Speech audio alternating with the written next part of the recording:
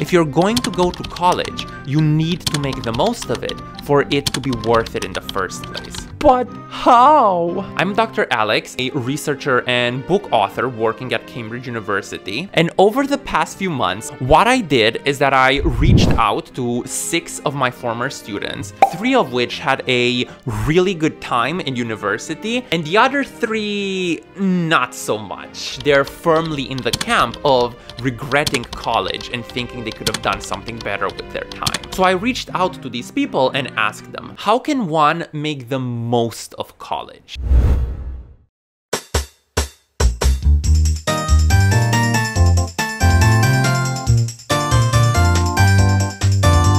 Dear Alex, the one thing that helped me stay on top of things was finding a group of people that would push me to be at my best. I have a hard time motivating myself, but there's something about trying to one-up each other that always got me going. By the way, this is just an empty piece of paper for dramatic effect. Now, you don't have to take this advice to the extreme, obviously, but when I was a student, one of the most difficult things for me was finding the internal motivation for actually getting things done. I just couldn't do it. I fucking couldn't do it because it seemed like I never had the energy. Everything just seemed so bloody difficult to do on my own. So if like me, you just find yourself in this situation where it's literally impossible to muster up this sort of internal motivation, how about, you know, some external motivation?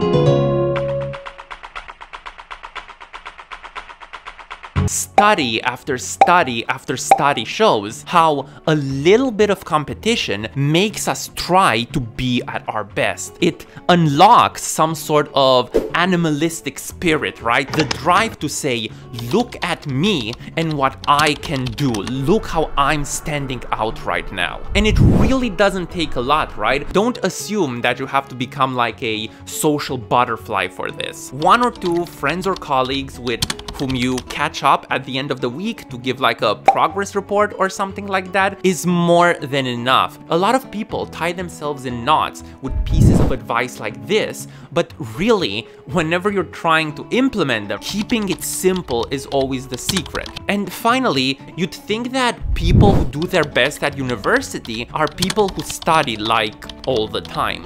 No ma'am.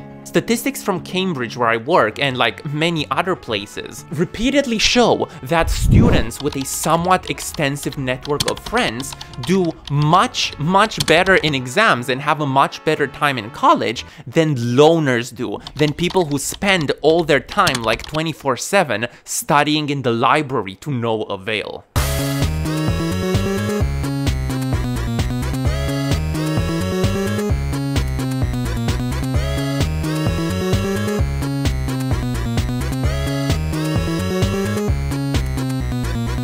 Now, if you're in college or like considering going to college, odds are that you're like way more ambitious than the average person out there. I mean, you're making a risky investment and everything, right? But before you go on to celebrate this newfound statistic, guess what? You're also significantly more likely to be neurotic and anxious than people who don't end up going to college. And you just know that when neuroticism and like anxiety rear their ugly heads in, perfectionism is always very soon to follow. My arch nemesis.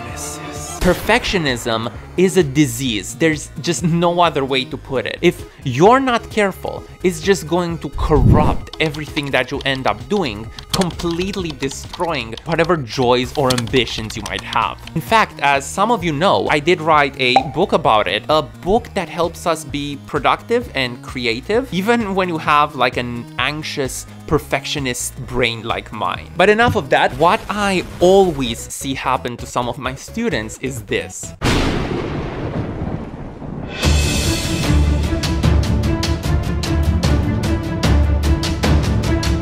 They start off things really, really well. They're on top of their assignments, they get good grades, they make friends and have a social life. Things are just sunshine and rainbows for a while until something goes wrong.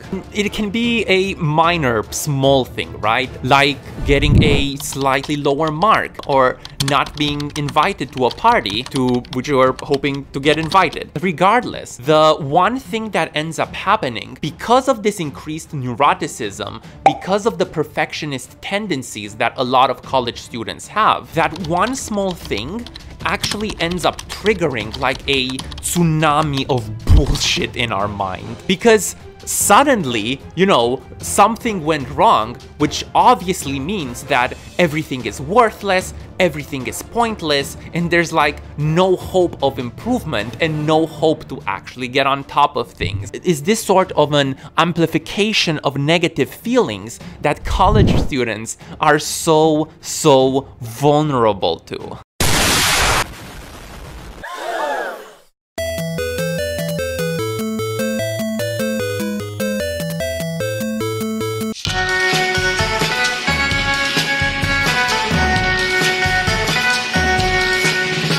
So I didn't click record for this part of this video.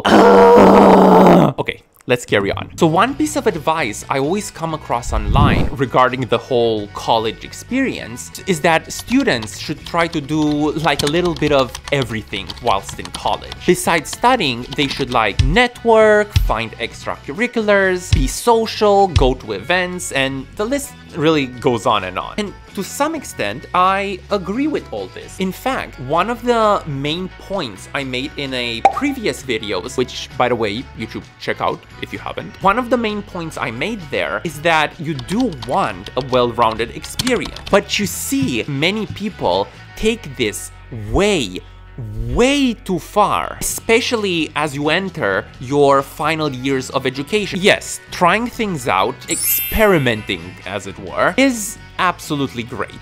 It's fantastic. But at some point, you can overdo it. You can end up spreading yourself way, way too thin. If you feel like you're failing your exams because you have 10 parties 100 interviews and like 100,000 charity walks scheduled for the next week, you might have a problem. You might want to trim some of that fat. When I was in college, I wanted to do everything. Wait, no, that's a lie. All I wanted to do was to stay in my room and play Pokemon. But I had a lot of friends that did want to do like everything. And look where they are now.